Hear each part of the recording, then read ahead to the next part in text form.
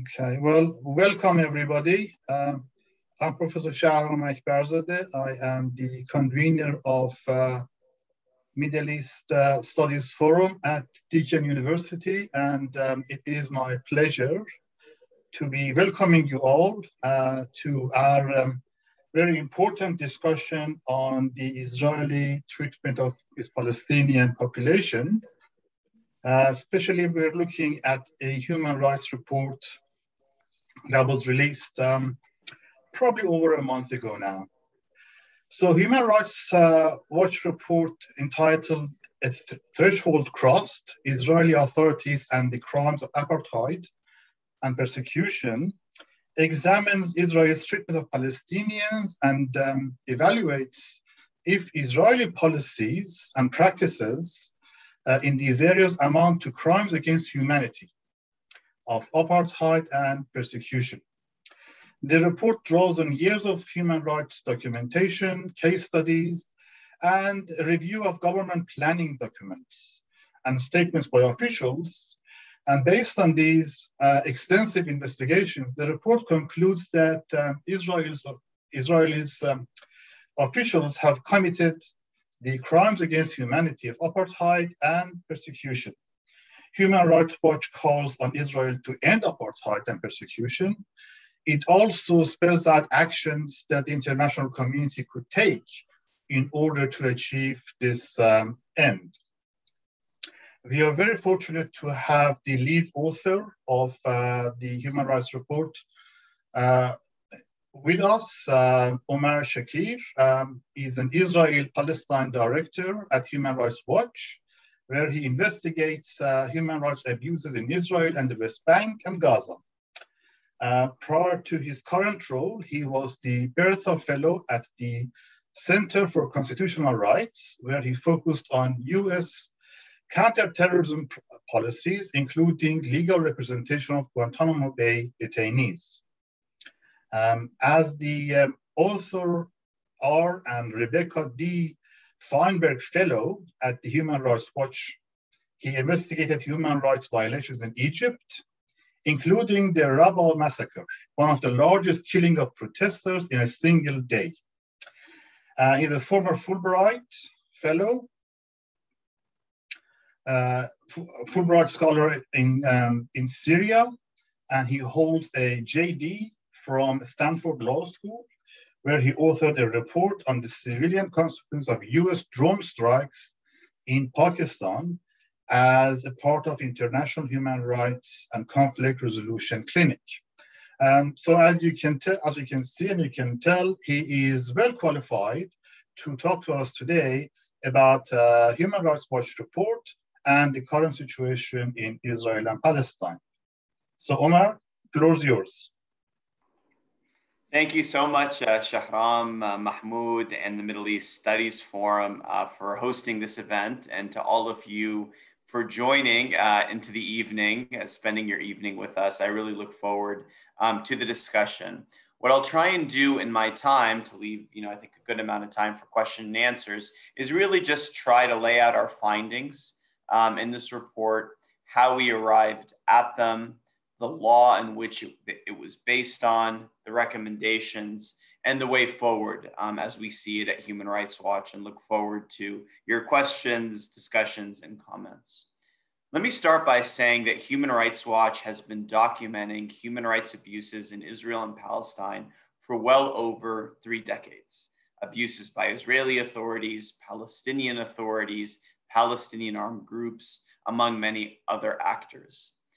In recent years, we've noticed that discrimination has become more and more a theme of our work, and that reflects the reality on the ground. You can look back at our body of work and find major, I'm talking, you know, 80, 100 plus page reports from 2001 about the treatment and discrimination in schools inside Israel between Jewish Israelis and Palestinians who attend separate schools or in 2008, um, the Israeli government's policy of failing to recognize dozens of Palestinian Bedouin villages in the Negev, or in 2010, a report called Separate and Unequal about the situation in East Jerusalem and in Area C, the majority of the West Bank under Israel's exclusive rule.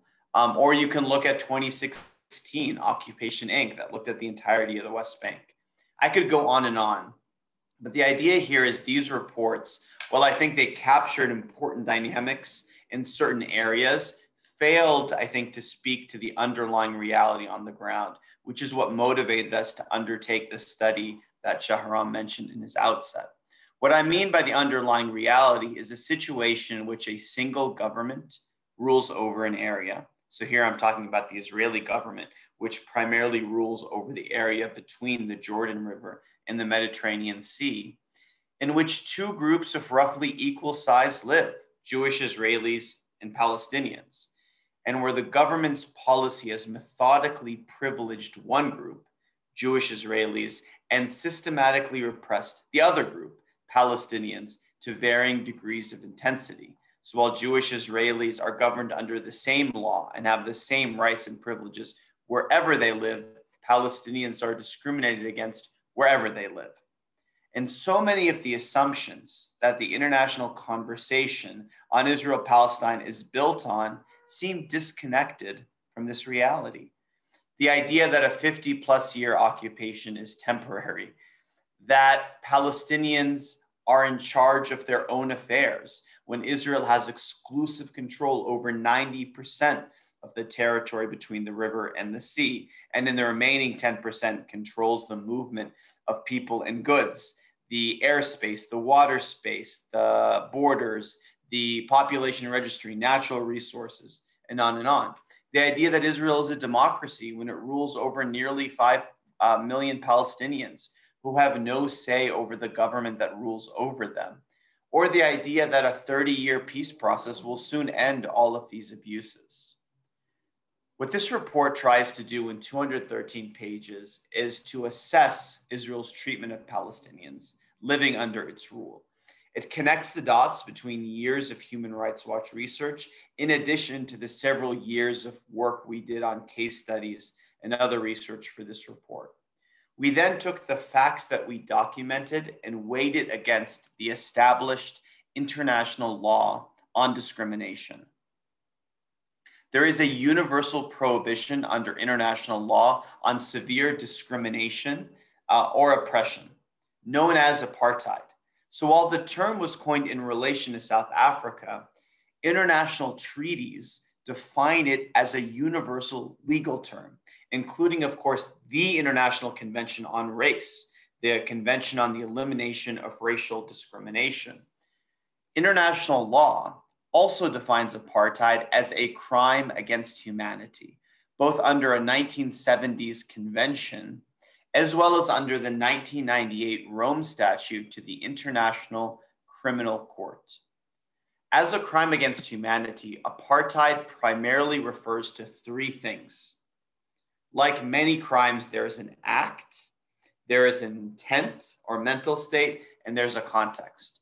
With apartheid, the act is known as inhumane acts, which, which refers to a set of defined grave abuses. Grave abuses like um, forcible transfer, like mass land expropriation, like the denial of the right to leave and enter one's country. Then you have the intent. The intent for apartheid that's required is an intent by one group of people to dominate another. And the context is systematic oppression by the dominant group over the marginalized group. So, intent to dominate, systematic oppression, inhumane acts. Again, the exact wording of the definition you can find on you know, in the Rome Statute, but it basically boils down to those three elements. Let me just say a couple of notes about the law on apartheid, which is important context for our conversation. First is the convention and the Rome Statute use the term racial group, but international human rights law has long defined racial discrimination and racial group more generally to refer to distinctions based on ethnicity, national origin, descent, etc. And international criminal law has said when applying the law to the facts, you need to look at the local context, at construction by local actors, which of course maps social sciences, evolving notions of race. It's also worth noting that the law focuses on domination, not on sovereignty. So you look at who, in, in, effect, rules over an area, not what the formal legal distinctions are, for which there is a meaningful distinction between Israel and the Green Line and the occupied territory. And finally, apartheid can be assessed looking at any geographic area. You can look at it in a sub region, in a whole state, in a whole area under a, a state's rule. Finally, let me talk about a related crime against humanity, which is persecution. Under international law, it refers to discriminatory intent when it leads to severe abuses of fundamental rights, defined also under the Rome Statute and under customary international law. It's the exact same severity, gravity as apartheid. It's one of the 11 crimes against humanity under the Rome Statute. When Human Rights Watch applied the facts that I mentioned to the law that's well established, we reached the conclusion that Israeli authorities are committing the crimes against humanity of apartheid and persecution. We base this finding on two primary things. One is a policy or an intent we documented by the Israeli government to maintain the domination by Jewish Israelis over Palestinians across Israel and the occupied territory. And secondly, the particularly grave abuses carried out in the occupied territory. Let me walk through the elements of the crimes that I laid out and how we applied the facts to the law to provide you a better context about our report. Starting with the intent or mental state requirement, our research shows that Israeli policy has sought to maximize control over demographics and land for the benefit of Jewish Israelis and to the detriment of Palestinians. When it comes to demographics, the Israeli government has openly undertaken policies to combat the demographic threat that it claims Palestinians pose. And I use demographic threat between quotes. For example, a 2003 Knesset law, renewed every year since, forbids, in effect, the granting of permanent legal status to Palestinians in the West Bank and in the Gaza Strip married to Israeli citizens and nationals, a restriction that does not exist for the foreign spouses of Israelis from virtually any other country. As a side note, this law is in the news today. I mean, just minutes before I came on this presentation, because the law is up for renewal. And the Likud party, in a cynical move to undermine the new Israeli government, has basically said this law is essential for demographics. This government can't pass it, and has said it, the opposition will not support the law's passage. I'm confident it will be passed and renewed again, but it again speaks to the consensus on demographic objectives. On land policies, the Israeli government has sought to maximize the land available for Jewish Israelis and confine Palestinians into dense enclaves across Israel and the occupied territory. This policy takes different forms. For example, in the uh, inside Israel, the Israeli government has a formal policy to Judaize the Negev and the Galilee, regions that account for two thirds um, the land inside Israel and much of the Palestinian population.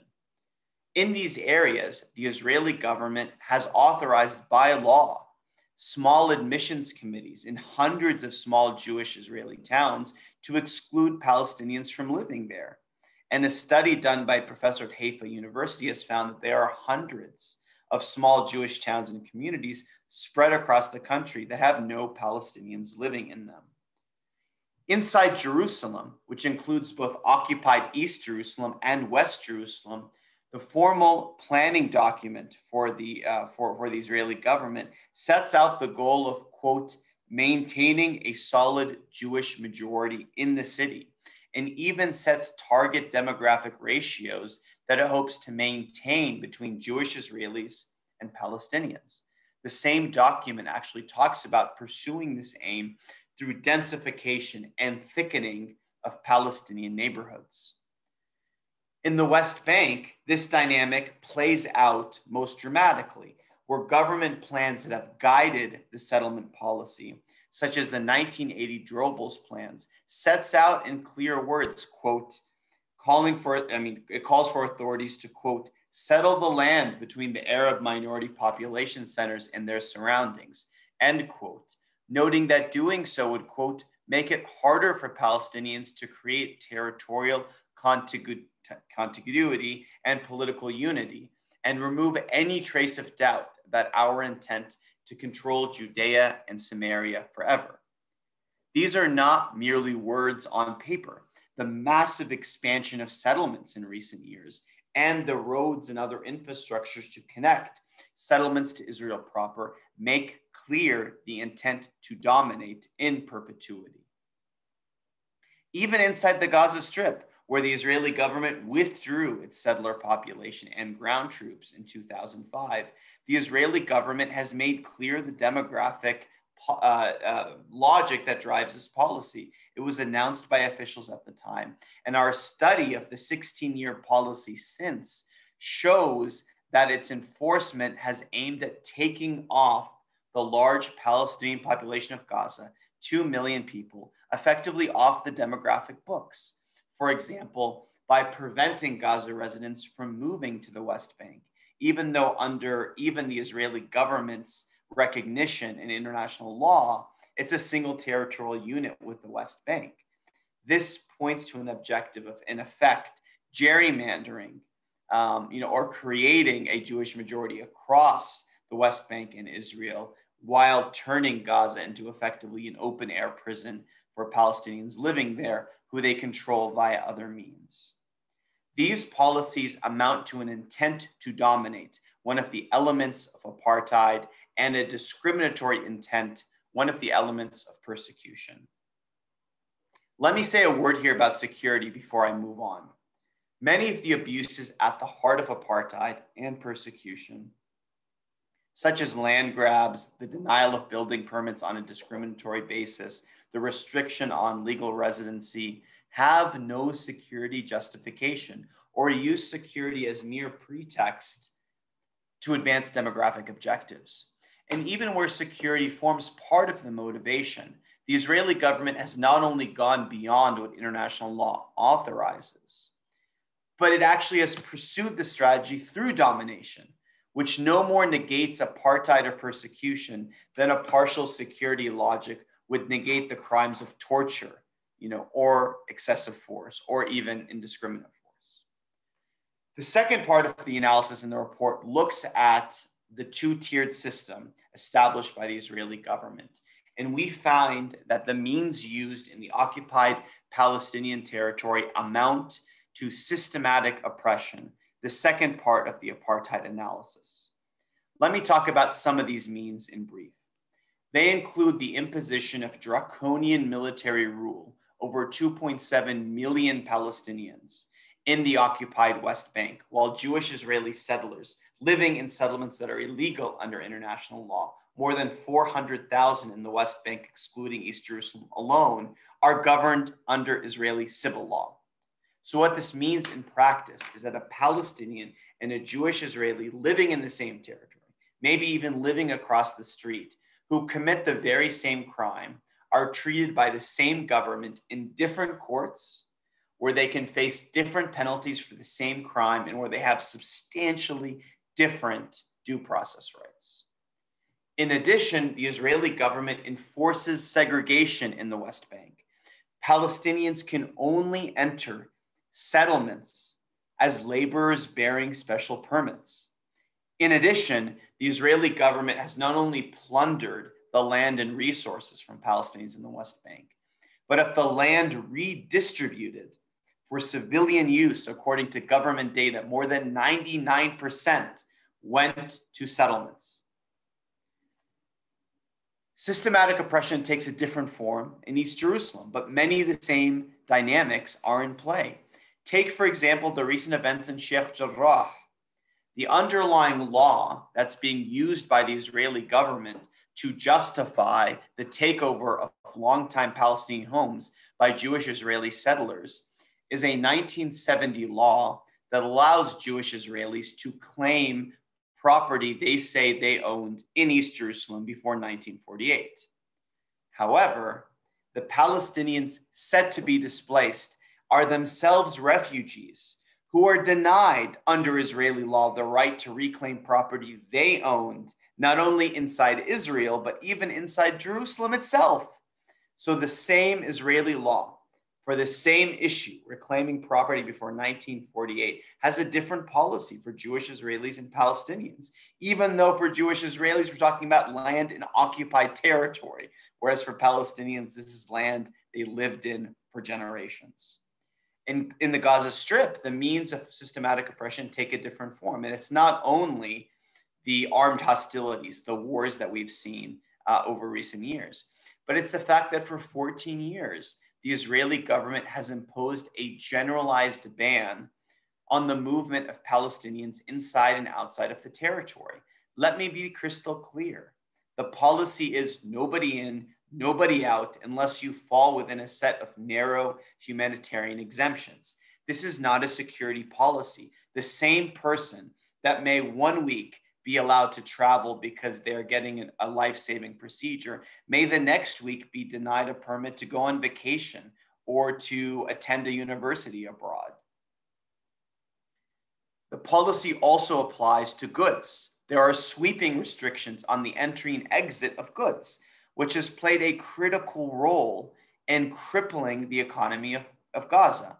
80% of the population rely on humanitarian aid. GDP per capita has dropped since the early 1990s. The majority of families spend the majority of their day without electricity. 97% of the water is undrinkable. These means used amount to systematic oppression, the second rung of apartheid. The report, though, also talks about the serious, um, you know, abuses and discrimination that take place inside Israel proper. Most starkly in the Negev, where you have 35 Palestinian Bedouin villages that are not recognized by the Israeli government. More than more than 90,000 residents live unconnected to electricity and water grids effectively illegally in their own homes, facing the constant prospect of demolitions, and where thousands of demolitions have been carried out over the years, including Al Araqib, one village that has itself been demolished more than 185 times, the same village. The third part of our analysis looks at the abuses carried out against Palestinians pursuant to this intent and amid a context of systematic oppression. Our report documents five clusters of inhumane acts and severe abuses of fundamental rights, the third element of apartheid, and second of persecution uh, in the occupied Palestinian territory. These means include one, the sweeping restrictions on movement, not only the aforementioned closure of Gaza, but the permit regime in the West Bank, the fact that Palestinians must obtain permits, which are very difficult to get to enter large sections of the West Bank. And even if they get permits, they must cross through the nearly 600 checkpoints and other closure obstacles spread across the West Bank, which can turn a short commute into a humiliating hours long ordeal, while Jewish Israelis are permitted largely unfettered movement throughout the occupied West Bank. There's also the separation barrier, which is built largely on Palestinian land and separates thousands of farmers from their agricultural land and families from their communities, schools, and hospitals. The second cluster of inhumane acts we document are the, are, are the mass expropriation of Palestinian land. More than one third of the West Bank and East Jerusalem has been confiscated from Palestinians, taken by the Israeli government via different mechanisms that the report lays out. These land grabs have reduced Palestinians to living in 165 disconnected territorial islands. The third cluster of inhumane acts we document are the coercive conditions in Area C of the West Bank, as well as in East Jerusalem, that make it effectively impossible for Palestinians to obtain a building permit. Between 2016 and 2018, according to Israeli government data, the Israeli government issued 100 times more demolition orders than building permits for Palestinians in Area C of the West Bank. There have been thousands of homes, schools, and businesses demolished simply for lacking a building permit, which goes against what international law allows occupiers to do. As I speak to you today, there are 46 Palestinian communities, according to the UN, at risk of full demolition. The fourth cluster of inhumane acts we document are the sweeping denials of residency rights. More than half a million Palestinians in the West Bank and Gaza denied their right to live there because they were abroad for too long, because they weren't there in 1967 when the occupation began, or as a result of the effective freeze on the population registry that Israel manages since 2000. And fifth and finally, the report talks about the sweeping denial of civil rights, suspension of the rights to free expression, assembly, and association for the 4.7 million Palestinians in the West Bank and the Gaza Strip. These findings are the most stark that Human Rights Watch has ever reached on the conduct of Israeli authorities. It's the first time we found that Israeli authorities have committed crimes against humanity our recommendations are in line with, with where we found crimes against humanity in other contexts, including, for example, finding the crimes against humanity of apartheid and persecution against the treatment of the Rohingya Muslims in Burma and in Myanmar. Our recommendations to the Israeli government are obvious end apartheid and persecution and all forms of privilege and repression that, that, that benefit Jewish Israelis to the detriment of Palestinians, including with regards to free movement, um, allocation of land and resources, access to water, electricity, and other services, and the granting of building permits. For the Israeli government, we have six clusters of main asks that I'll go through very much in brief. One is for recognition of the crimes taking place today and statements to that effect. Secondly, we call for, which has already happened, for the UN to establish a commission of inquiry to look into severe discrimination based on group identity across Israel and Palestine. That was put in place last month following the issuance of our report. The second part of that REC has not come into fruition yet, which is for the UN to establish a global envoy for the crimes of apartheid and persecution, with the mandate to look into all situations of apartheid and persecution across the globe. Third, we call for the International Criminal Court to investigate and prosecute those Israeli officials implicated in the crimes of apartheid and persecution, as well as for national courts to do so under the principle of universal jurisdiction. I'll note here, since I'm speaking to you know a university based in Australia, how shameful the Australia position has been on the International Criminal Court um, maybe the most shameful um, of all non countries named Israel and the US in the world, not supporting the investigation into serious crimes potentially committed in Israel Palestine. Fourth, we call for targeted sanctions, including asset freezes and travel bans against those Israeli officials implicated in the crime. Fifth, we call for conditioning arms sales and all military and security assistance to the Israeli government on steps to end apartheid and persecution. And finally, we call for all states to look into all forms of bilateral engagement with Israel to ensure non complicity in the crime, to minimize the human rights impacts of this engagement, and were not possible to end those activities. Let me conclude and turn to conversation with the following points, which I think really summarize what this report is all about. A 54 year occupation is not temporary.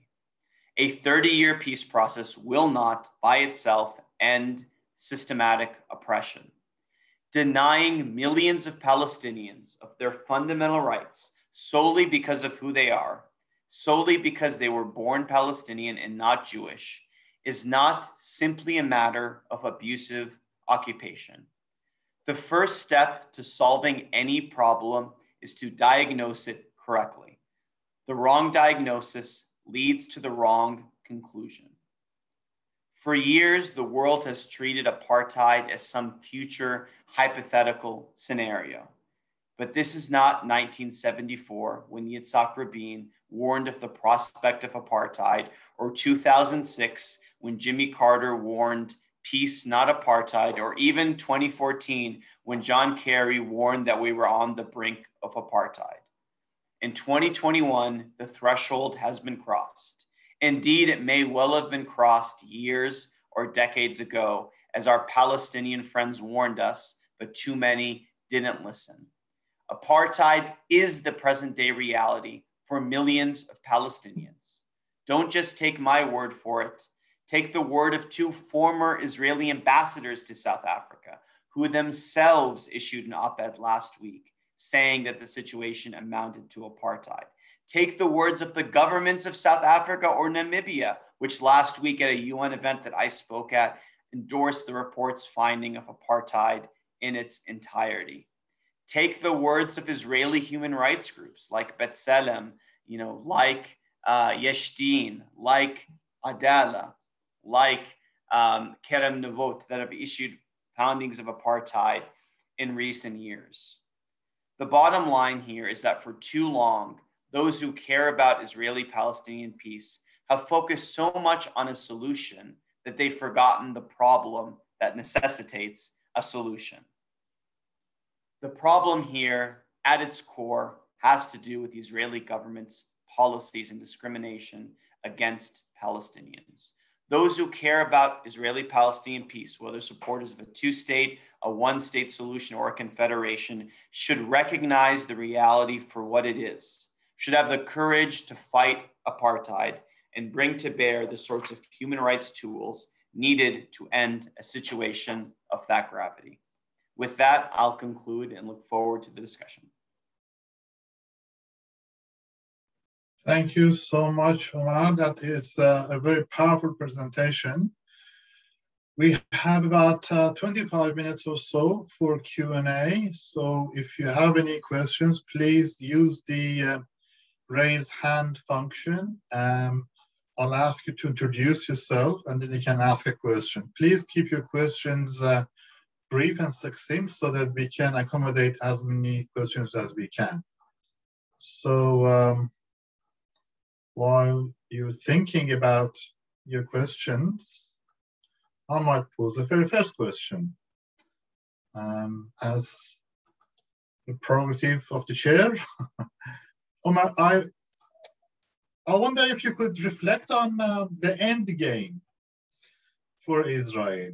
Um, clearly, you say um, when you think about, when you mention occupation, the image that comes up is something temporary uh, that will come to an end in a in a near future. Whereas this has been going on for you said 54 years, so that's a pretty long time for an occupation to last. Um, and then we have this whole idea of uh, a future state for Palestinians, a two-state solution. So what's the end game for Israel? What do they want to get out of this occupation? It's a great question, Shahram. I mean, I think for the Israeli government, um, you know, there there are um, there is a clear intent to dominate uh, the West Bank. I think um, you know the for, there has been both political parties, whether Labor, Likud, over the years, whether it is you know, um, Naftali Bennett to uh, others on the political spectrum, absent a narrow band of, uh, of, of, of folks on the political spectrum, the vast majority have sought to control the West Bank in perpetuity. It's about the land. It's about sort of, um, you know, ensuring control over that. And it's about ensuring that one group, Jewish Israelis, are privileged, um, you know, at the expense of the local population you know, I think when push comes to shove, there are some in the Israeli political spectrum that believe that, you know, Israel should withdraw, you know, from the West Bank. But even for them, withdrawal is not about human rights. It's not about uh, universal values. It's about consolidating and ensuring a Jewish majority. Because the reality here is today, between the river and the sea, as I said at the outset, uh, it's about rough parity between Jewish Israelis and Palestinians, if you include you know a holistic look at this area and i think the prospect of uh, losing uh, you know, the Jewish superiority or the privilege, I think scares many in the political spectrum. So the end game is going to depend on how actors react, you know, to this situation. Um, you know, I think there is certainly a uh, you know, uh, a sense among the political establishment that Israel is strong, that it can ignore the Palestinian question. Some say that's the best, biggest legacy of the Netanyahu government. Um, you know, there are others that think that action needs to be taken to uh, get ahead of a potential movement. I mean, Ehud Olmert used to warn about apartheid and to say we should get ahead of international condemnation. Ehud Barak issued a similar warning. So I think the end game Shahram will depend almost entirely on the international community's response. You know, there's a scenario where Palestinians um, continue to follow the path of you know Native Americans in the United States, where they're continue, continually confined to more narrow and narrower, narrower areas. Um, or there's an end game where, where there is real international action brought and where Israel's hand is forced, either leading to you know, uh, a Palestinian state or to a situation where equal, apartheid ends and equality, you know, reigns for all people. We at Human Rights Watch don't take a position on a political solution. Certainly, both any solution could be. I mean, not any solution, let's say, but a two state, a one state, or a confederation could be consistent with human rights values. But the current reality, you know, of apartheid for millions of Palestinians is inconsistent with human rights and is, in fact, a crime against humanity. Okay, thanks, Omar. I see that uh, Steve has raised his hand, um, but you're not using the function. and I see that Ahmed is clapping. I'm not sure if Ahmed is trying to raise his hand or just uh, well, applauding no. Omar's response. But Steve, you go ahead and then we go to Riyad. Okay, when I was teaching in uh, Israel, uh, I saw a, a, article in the Jerusalem Post from the retiring chief archivist to say that 95% of their archives were um, still classified. And then uh, a year later, they were extended. This is 2018 19. Uh, last year, the year before, they were extended for 90 years. So, one of the reasons um, I concluded uh, teaching with colleagues on uh, the West Bank at a university there was that they really are in denial, like Americans, uh, about the foundational injustices, partly because they don't know about them. Uh, it, it, you know, it's astonishing to think, but as Ilan Pappé has pointed out, the whole of the um, uh, the whole of the um, romanticization of their uh, foundation uh, means that that's true. So here's my question. Uh, can we get progress uh, to come to a realization by defunding, by uh, getting America to confront uh, its in denial? What's the uh, solution? I'd be interested in other panelists as well to the in denial. My own country was in denial to the 1980s. We fessed up, we instituted a compo and return for land. Uh, it was a process that's still going on. It's only um, represented 4% of the unimproved value of that land, but it's been accepted by both parties. I can't see it happening in Israel. The threshold is 3.75. You can't get any agreement from within the country. So, what do you think is the way to burst the bubble to, uh, as we did with uh, South Africa, um, to bring this not to the attention of the international community, but to make it something that people have to do. What do you think? Go ahead. Rob, would you like me to answer that or would you like to take more? Yeah, questions? go ahead. Go ahead. Yeah, no, uh, Steve, it's a really, really smart question. Let me just say, by the way, that I don't know if you follow the group Akevot. It's an Israeli group that's been has gotten more and more access to the archives, and they've been um, publishing fascinating articles. Um, you can f- follow them on Twitter. Uh, they, they publish in Hebrew, but sometimes in English. I, I find them fascinating in terms of the archives. Um, I will disagree with you on one thing, though. I'm not sure that Israelis are in denial as much as they kind of are in a bubble, as you said towards the end of your comments, right? I mean, I think there is some level of recognition um, that Palestinians have faced hardship uh, over time. You know, maybe it's not to the extent of what we describe, but you know, they will quickly point either point the finger at other things, say, well, you know, terrorism, violence, you know, or, or, or say, you know, they had opportunities to accept what's there, or they'll say it's small compared to the experiences that the Jewish people have faced historically, or they kind of shrug their shoulders and just say it's unfortunate, but hey, this is reality. But the bubble is the bigger phenomenon.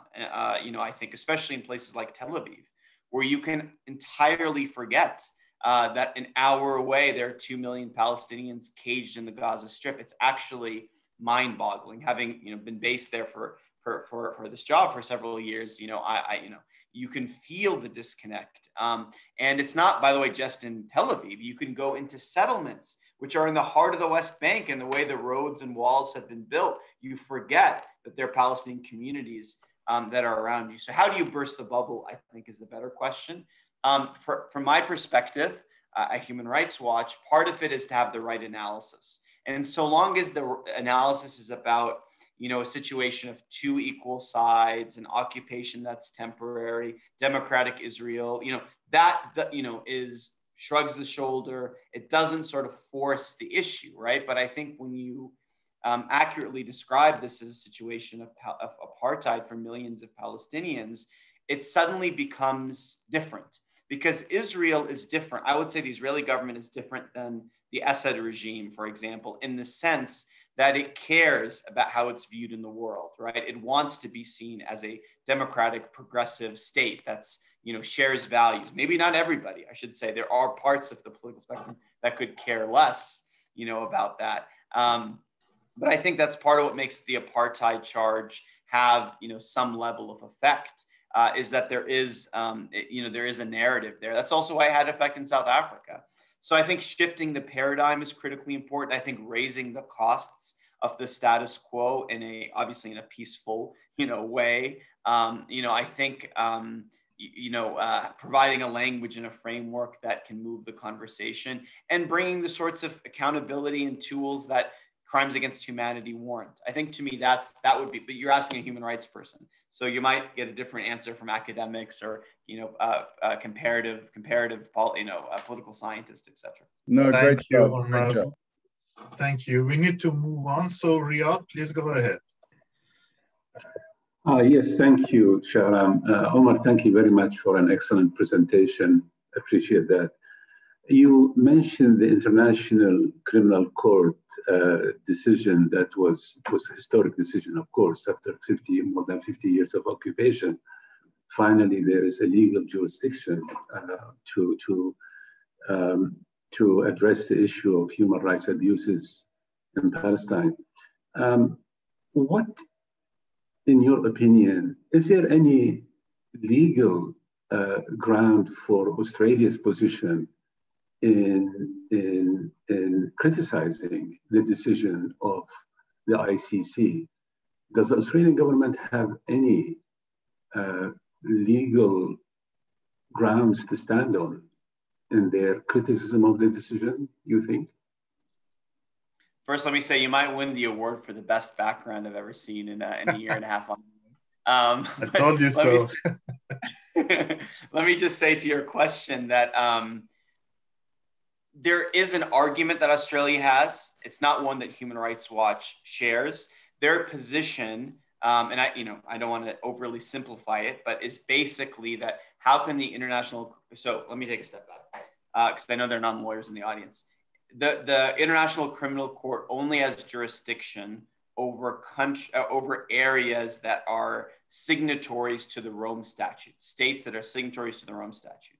So the Palestinian Authority signed onto the Rome Statute um, on behalf of the state of Palestine.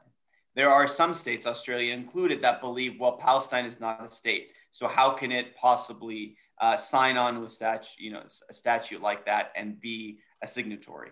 Um, what the International Criminal Court spent some time discussing this very, very issue. And the court issued a ruling saying the court does have jurisdiction, that it's not the court's place to say what isn't isn't a state, but the UN has recognized it, you know, as a state party. And, you know, they have joined the International Criminal Court. And so that suffices for us to say that there's jurisdiction. Now, that's a position contested by other states, including Germany uh, and the US. What makes Australia's position worse, I would say, than I'm, I'm putting aside the US and, and Israel for a minute, is that they've directly called on the court to not exercise jurisdiction. Some states, like Germany, have disagreed on the jurisdiction, but once the court ruled, said we support the independence of the court. Australia's statement went a step further in saying, you know, don't exercise jurisdiction. That, in our estimation, we wrote about this as Human Rights Watch, infringes on the independence of the ICC. The International Criminal Court, to live up to its mandate, must uh, be independent to pursue its mandate, including um, all allegations of serious abuses uh, wherever the evidence leads. And I think Australia's position to challenge the jurisdiction of the court uh, uh, or to say the court shouldn't exercise its jurisdiction uh, goes a step beyond what other states have done and is in, contravent, in contradiction with um, rule of law and international law more generally. Thank you. We go to Ahmad Keskin now. Thanks, Shahram. That was a great presentation, Omar. Uh, my question is more about um, just getting a feel or your, your view on civil society organizations within Israel, uh, human rights organizations how are they tracking? Are they gaining momentum in trying to uh, sway public discourse, or does it sort of get drowned out whenever there's uh, incidents happening and the political machinations sort of take over and everyone sort of goes back to that uh, support Israel at all costs kind of um, attitude? Just wanted to get your thoughts on what's happening at the ground force civil society. I think it's hard to deny that there's been a sea change in the conversation in recent weeks and months. Um, you know, there are many data points, but let me say to your point, like when the hostilities began, right, um, in Gaza, um, normally people would just revert back to thinking of the start of everything as the rockets. But so much of the news reporting, so much of the conversation talked about root causes. In fact, that was in the UN resolution that was passed for the Commission of Inquiry using language from our report. That's a shift uh, from previous times. The shift can be tracked, you know, I think in other ways, right? Um, there are many examples of it, right? I would say the amount of people who've used the word apartheid and persecution in recent weeks since our report has been released. Uh, I mentioned the Israeli ambassadors. I mentioned states, and it's not just South Africa and Namibia. Luxembourg used the term. France's foreign minister in an interview said that the status quo produces a reality of apartheid. You had prominent parliamentarians and congresspeople across the globe European parliamentarians. I, I addressed the European Parliament, US Congress people. I briefed the US Congress also myself. You had Jewish American groups that are progressive that were taking strong positions. You had academics, you had pop culture icons. You had John Oliver. Uh, you had, um, you know, uh, musicians, uh, you know, Dua Lipa, who has 8 million followers, you know, citing, you know, our report and our work. I could go on and on listing things, but I do think there's a shift uh, that's that's noticeable uh, in the conversation that has taken many different forms. Again, it's difficult to trace it to one thing. Uh, certainly, a single report, um, but I think there, you know, th- this is ultimately a reflection of the reality on the ground, which has become more and more clear. I mean, I think many people around annexation talked about if it happened, it would be apartheid, right? Um, but annexation didn't happen as a formal matter, but de facto annexation continues on the ground. And because apartheid is a term about domination, not sovereignty, if you believe it's apartheid with annexation, as a legal matter, you should believe it's apartheid today. So I think more and more, it's dawning on more and more people that the reality on the ground isn't what uh, has been assumed for so many years. Um, and I see the conversation absolutely shifting. Now, does that, you know, will that translate into impact? There are some that have argued that the US, I mean, the Biden position was atrocious, you know, on the, on, you know, on what happened in Gaza. It's at odds with much of the Democratic Party. But even the Biden administration faced pressure and ultimately, you know, uh, pushed for a ceasefire maybe earlier um, than we'd seen in previous wars in previous years. Now, again, there are many factors that could produce that reality. Um, but I think it remains to be seen whether the international community will you know, take the action that's required. But certainly there's been a shift, and it's going to be incumbent on uh, all of us who care about human rights in Israel Palestine to see to it that the shift leads to real change on the ground over time. Thank you, Omar. Now we go to Leanne Spencer. If you could uh, introduce yourself, Leanne. Hi, um, I'm Leanne. Uh, First off, I want to thank you, Omar. Uh, that was a really informative and passionate presentation, uh, which I really admire. Um, so this this is more of a reflection, um, perhaps a bit of a question at the end, but I wanted to say, um, you know, I, I agree that uh, the situation has been quite grave for many years now in Palestine. Uh, but as I'm a quite young um, Aussie girl in a rural town, um, quite often in the past when I have uh, brought up the situation with um, friends, peers, family, um, most people really had no idea what I was talking about. Um, and if they did, they only knew that uh, very stereotypical line that it was, you know, this terrorist Israel had to do something to protect their country. Um, but I have noticed that a massive shift um, in the past couple of months with the recent hostilities. I've had people come to me, um, have you heard what's happening uh, with Israel, with Palestine? Um, they know I'm interested in human rights. Um, so I, am a sociologist. My mind automatically goes to, oh, um, you know, perhaps growing globalization, the rise of social media, as you've just covered just now. Um, you've got lots of celebrities, uh, models, um, TV talk, uh, TV hosts talking about it. Um, so there's a lot more access to the information, um, growing awareness. Arguably, um, there's been a shift in those norms around you know, caring and knowing about international human rights. So I think I just wanted to reflect on that shift and something coming as you know, coming from a relatively young um, girl, as I said, in an isolated town. I was going to translate that to a question about um, what you thought about recent discourse, but you have just uh, touched on that. But I suppose um, it could be questioned whether past uh, just that um, international community in terms of you know politicians reacting, etc. Perhaps whether um, just ordinary citizens um, becoming more aware, burst in that bubble, um, talking about it on social media and the like. I see things on TikTok and Instagram.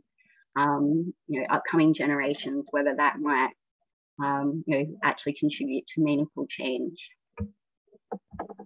Thanks for your reflection. That's really, I mean, it's it's it's really interesting to hear, and for your question. Um, yeah, I mean, I think ultimately it will uh, lead to change, right? But or could let me say it, it could lead to change if it continues to develop. Um, the reality here is so many countries' policies on Israel Palestine are, are, at odds, you know, with I think where popular sentiment is.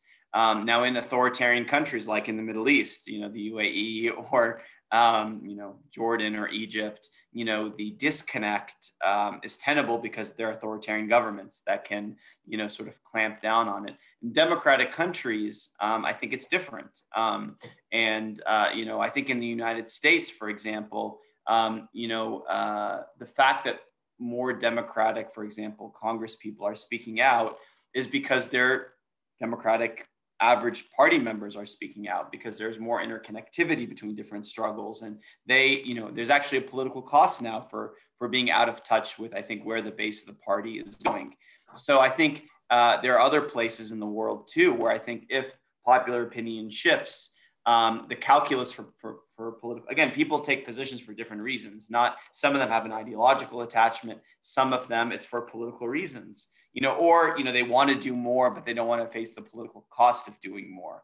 And so if those uh, factors change, um, I think it's easy for policy to change, right? Um, you know, for a lot of people, um, you know, they know the reality. It doesn't take much to tell anybody who's been there, especially spent time in the West Bank or East Jerusalem or Gaza, you know, what the situation is. But sometimes they don't see the benefit to speaking out, so they'll be silent. But I think when the popular conversation shifts. And even in, in, in authoritarian countries, even in Arab states, you know, it's difficult, you know, for them to, you know, for some of them to go too far beyond public opinion.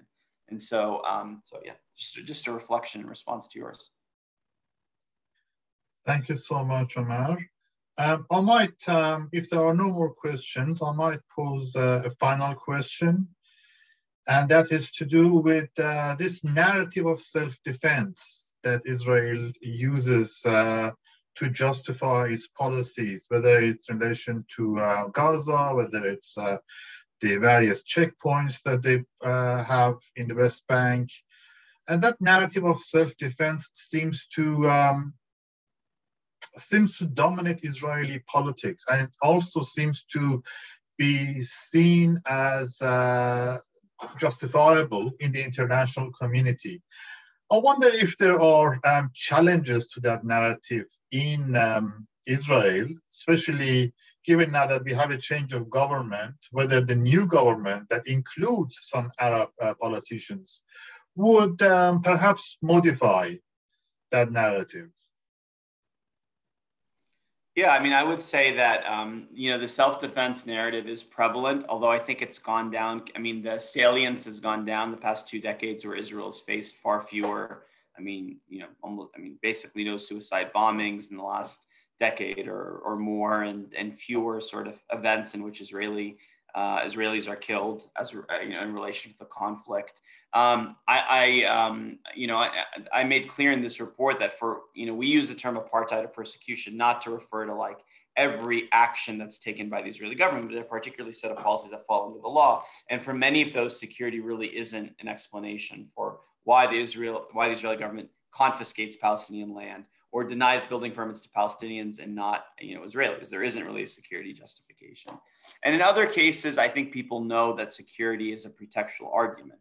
Now, when it comes to Gaza, and particularly like the recent hostilities, security, I think, is a more prevalent uh, consideration in the minds of, of more people. Um, but I think there's also a recognition, particularly among um, the army. I mean, the army in, in Israel has actually been more moderate as compared to the political forces because they kind of get the couple of uh, former head of COGAT, the body of the Israeli army that oversees the territories. You know, at one point called for a Marshall Plan for Gaza because he understood that the long-term Israeli security is is not actually served well by um, the closure policy and rounds of armed conflict. In terms of the new government, um, I wouldn't expect change when it comes to Palestinians. That's significant. Um, they uh, leading officials have already made clear that they will be maintaining, uh, you know, the status quo when it comes to Palestinians.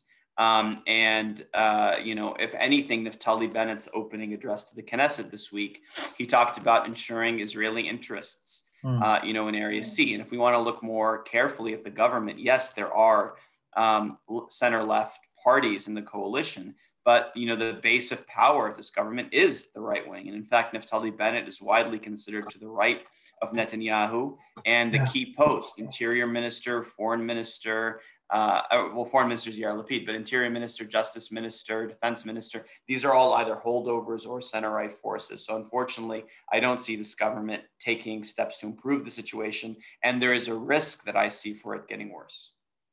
Mm. Well, thanks so much, Omar. Uh, unfortunately, we are out of time. Um, so thanks so much for this really uh, important and uh, groundbreaking report that uh, you have produced and uh, we congratulate you on this achievement and thank you very much for joining us. Everyone's virtually clapping for you, Omar. thank you very much. Thank you so much for being with us and thanks to everyone else for uh, joining this forum wherever you are, whether you're in uh, Middle East, uh, Europe, or Australia. I hope you enjoy the rest of your day or your evening. Thank you. Thank you.